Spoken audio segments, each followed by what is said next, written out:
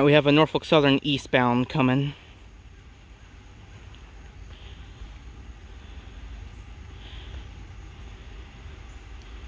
I don't really...